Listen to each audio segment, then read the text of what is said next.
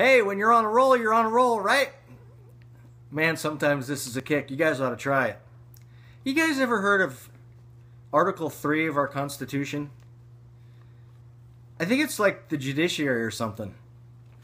And I think like Article 1's the legislature and Article 2 is the executive branch. Somewhere I heard that it was supposed to be like the supreme law of the land or whatever. Not like people know what that means. Or not even know who it's actually for. I'll have to uh, thank my friend for referring me to the Idaho Statesman today that completely made my head explode. I don't think I need to apologize for the past video though because it was fun to do. And I know that my intentions are right. And anyway, today I'm finding out, here's an, the, the other thing that I found today was actually on page A6. It says, with right divided, united left drove the Supreme Court. Now, forgive me, guys. You know, I kind of talk about the Constitution and all of that. I love my country. I love my fellow Americans. I don't like tyranny much. But I'm not finding out anywhere where it talks about liberal and conservative judges. What I do know through the history and stuff that I've read is there was this thing called blind lady liberty.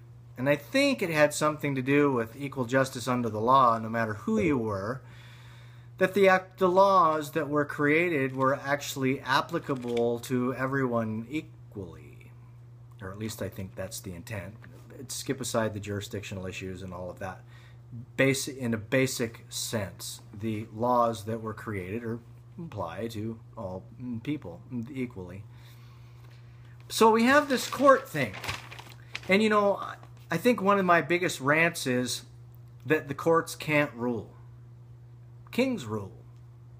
Judges, I don't think in here say that they have the authority to rule. So what we have here is it said the discipline of the four liberal justices, no equal justice under the law anymore, uh, led to a surprising series of high-profile, immoral, unconstitutional acts, including blockbusters like a movie, right? the same-sex marriage and the President Barack Obama's health care. Hmm, sounds like Barack Obama is writing law. Appointed by Democrats, uh, that is the, let's see, Obama's health care, the court's liberal wing. Is that like West Wing? I didn't realize that the court had wings. Maybe it had a Red Bull. I don't know if it had a Red Bull. Do you think it had a Red Bull? And then it says it makes another reference and it says the most liberal one since the Warren Court in the 60s. The disagreement among the Republican appointed judges. The analysts credit the leadership of the Justice Ruth Bader Ginsburg.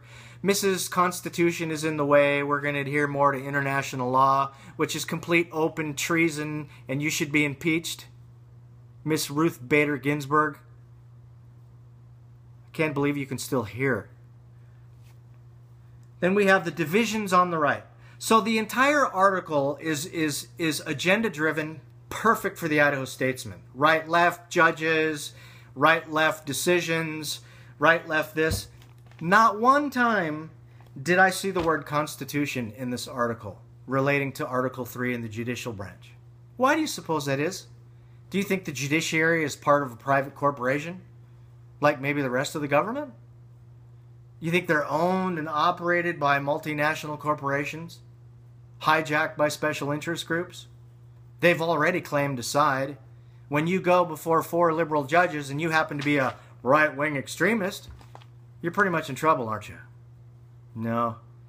If you happen to be a sodomite with a gun and you happen to shoot people, you know, and you're in front of a liberal court, they'll probably give you a pass. And this is why this is dangerous.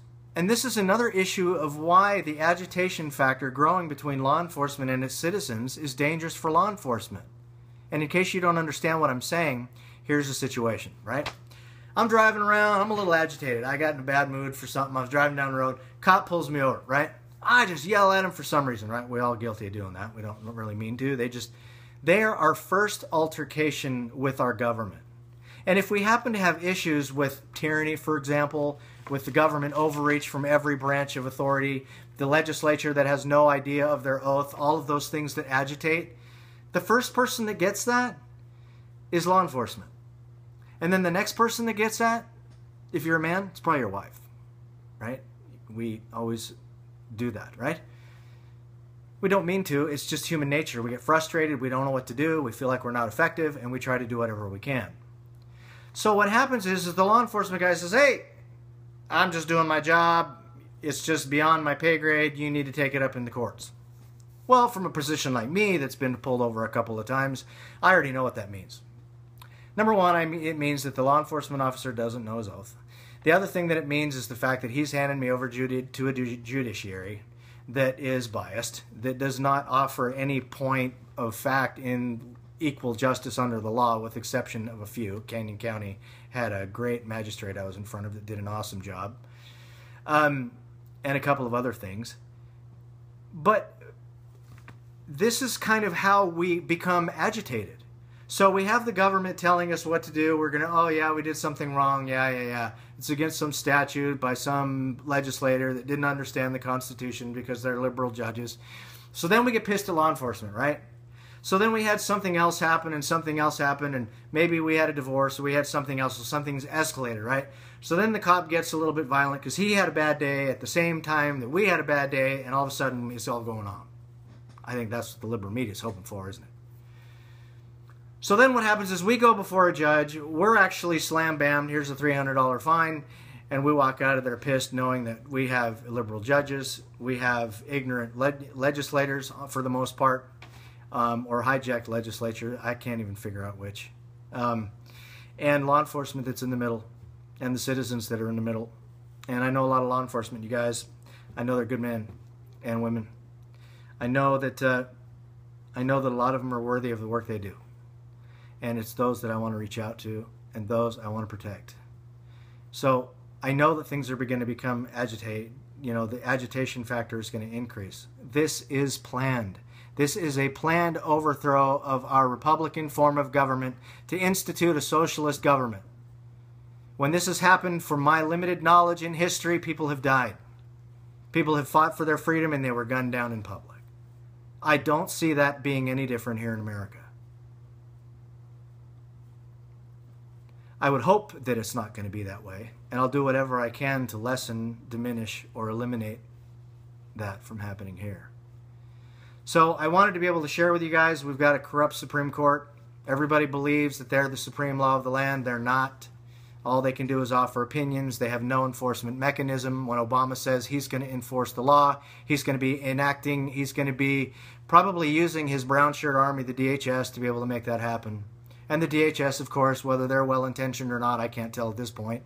It wouldn't appear that way, but when you're fed uh, misinformation by the Southern Poverty Law Center, and they're made to fear for their lives, and anything's possible. I never thought I'd ever see America like this. And I can't even imagine that I have to leave my kids behind in this mess when I'm gone. So join with me, guys. Let's fight. Let's party. Let's um, let's try to prevent absolute chaos from abounding. Let them know who we are. We're Americans. Let's act like it. Talk to you later. Love you. Bye.